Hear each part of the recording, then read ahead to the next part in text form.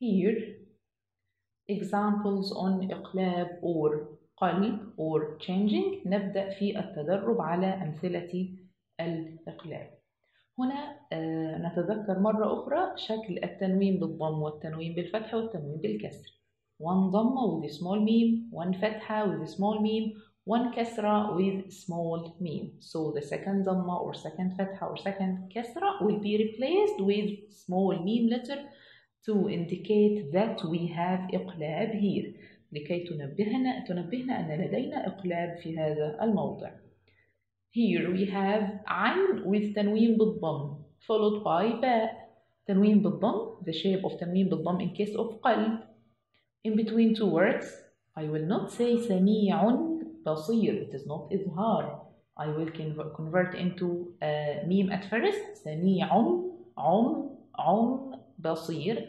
Then I will uh, hide this meem sound into the مخرج of the ba letter. سميع با عم با and we give time for غنة. سميع بصير. هذه الغنة طبعا الخاصة بحرف الميم وليس حرف النون لأننا بالفعل حولنا النون الساكنة أو التنوين إلى ميم. والميم مخفاة والإخفاء يعني يحتفظ بالغنة إذا نحن نحتفظ بغنة الميم Here we have تنوين with فتح followed by ba in between two letters أن بي أن بي جزاء بي Here we have تنوين with كسر followed by ba one كسرة with a small meem followed by ba the case of قلب إن با إن با شيء بصير. لدينا أيضا مجموعة أخرى من الأمثلة مع النون. نون ساكنة followed by باء within the same word أن بي طبعا هنا نذكره أن النون الساكنة ستحمل ميم صغيرة. وحكم القلب رغم قلته في المصحف ولكنه سهل الاستخراج والبحث جدا بسبب هذه الميم. أنبي أنبئهم أنبورك من بعد لا ينبذن ولا يتهاون المعلم. لا في زمن الإخفاء لا في زمن الإقلاب ولا في زمن the most complete غنة أو غنة أكمل ما يكون here for نون مشددة. ولدينا سميع بصير مرة أخرى. زوج بهيج تنوين بالكسر followed by باء. زوج با جيم با زوج بهيج. لدينا أيضا كلمة أنبياء أنبئهم ينبوع من بيته من بين من بعد. يتدرب المعلم آه، مع الطالب على كل هذا أبدا بما عليم بذات فضل بل آه، من بعد مرة أخرى. هذا قدر كافي من الأمثلة. نحن نعلم طبعا أن أمثلة القلب ليست كثيرة في المصحف. نأتي إلى البحث من داخل المصحف.